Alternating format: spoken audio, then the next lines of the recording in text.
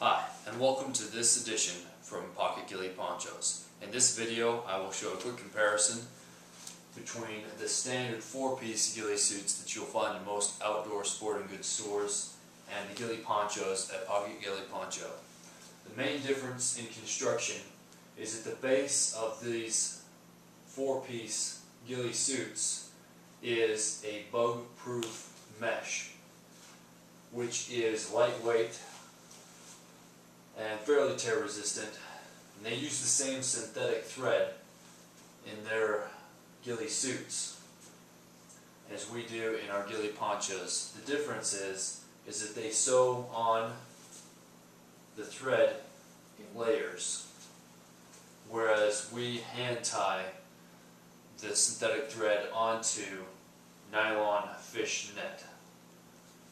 What this does is that this allows us uh, greater strength than with these ghillie suits that are coming out of China nowadays. The, one of the biggest problems with these is that because they sew these on in bunches, the thread literally will just come right out.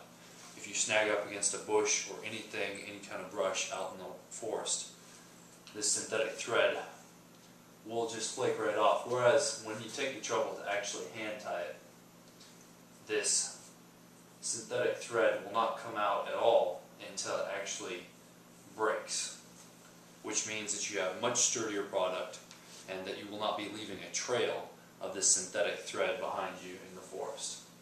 That's the major difference besides the fact that they have a headpiece, a jacket, pants, and a rifle cover. This is three parts the same suit, but cannot be thrown over a backpack and sometimes can get in the way of your gear. Whereas if you just have your gear, and then you wear a backpack or not, it'll all still work if you just toss on a poncho. That's the main difference between our design, made in America, and the stuff coming out of China nowadays. Hope you've enjoyed it. For more information, please visit us on the web at www.pocketghillieponchos.com.